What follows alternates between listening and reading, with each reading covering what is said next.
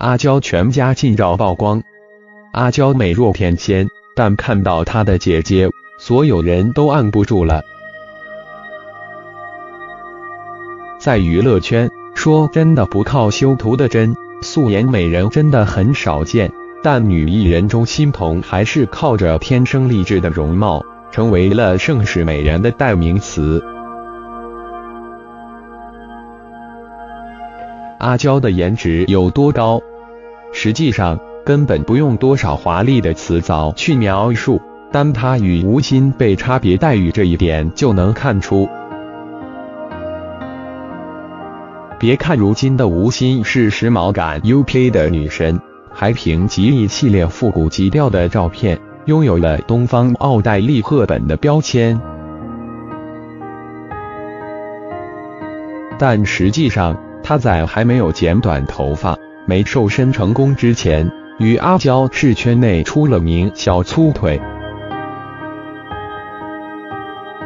然而，两人虽然拥有相似的身材，但待遇却差的不止一点半点。在吴昕被吐槽土肥圆时，阿娇虽然容易躺枪，但只要网友看到她那张三百六十度无死角的美颜。总容易手下留情。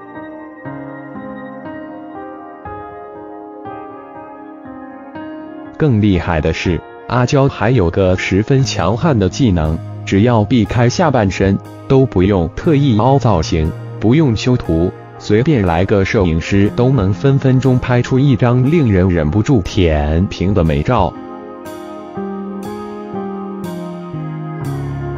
如今瘦身成功的阿娇没了小粗腿，不仅在衣品上选择更多，时髦值也是跟着上了好几个 level，形象分自然是蹭蹭往上又加了不少。阿娇这么美，网友自然是对她家人的颜值也产生了一定的好奇。不过，阿娇虽然童年的照片看着有点神似母亲，但细看五官其实是与妈妈完全不同。两人看着像，更多还是因为早年差不多的发型。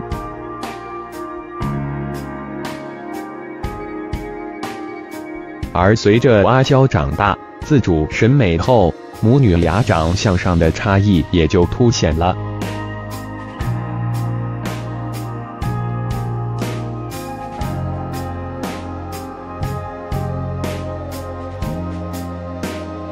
因此，有不少网友猜测阿娇是不是长得更土原为谋面的娇爸的同时，也忍不住调侃阿娇还不如阿 sa 看着像娇妈。